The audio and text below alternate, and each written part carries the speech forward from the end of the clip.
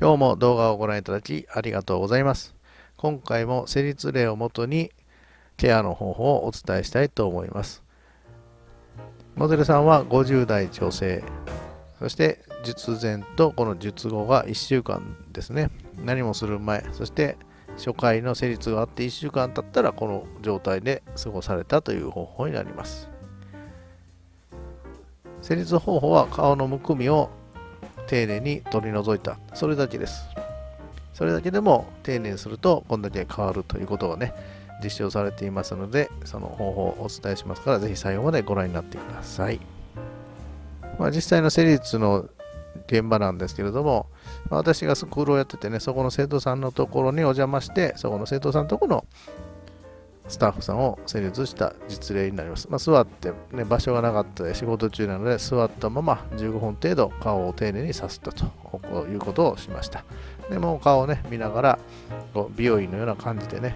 ここがむくんでますからこうしましょうというようなことをお伝えしながら施術をしました。ポイントはむくみなんですけれども目の高さが若干こっちが下がっている。まあ、全体的にこの右としたら左ですね。この方の左の顔は全体的に垂れています。で、ほうれん線にも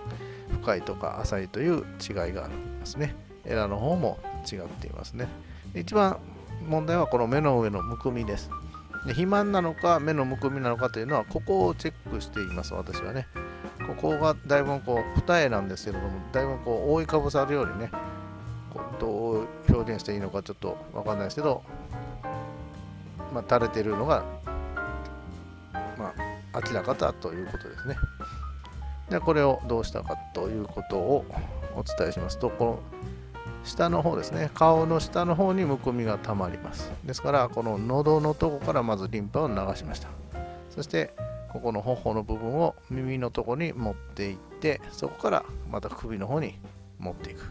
それから目の周りのむくみをこめかみですね。持っていってこめかみから耳の後ろへ通してまた首の方に持っていきました。では3回このねリンパを流したということになります。向こうのスタッフさんにとってもらったねこう仲間内なんでねポーズを取られて体をこう体をひねっていう感じで撮られてますので正確な写真ではないんですけどね、まあ、それでももう目の傾き体の傾きがあって目の高さが違う。先ほどの写真と比べても目立たなくなっているのはこの辺のむくみが取れて顔を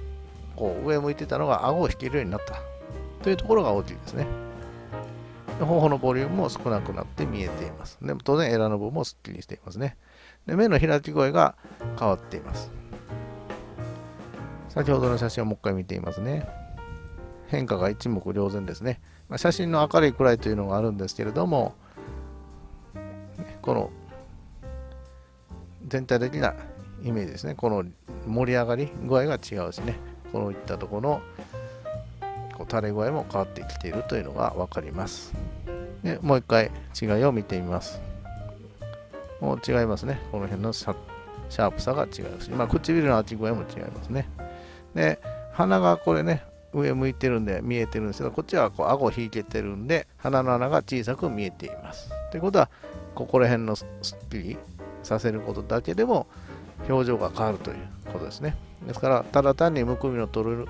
ケアというのを、まあ、私もお伝えしますけども、こういったところを丁寧にやると、ここまで変わる。そして1週間もこの状態が保てたということになりますのでね、まあ、単純なことかもしれませんけど、そういったところをね、丁寧に毎日行っていただきたいと思います。動画の内容がいいと思ったら評価をお願いいたします。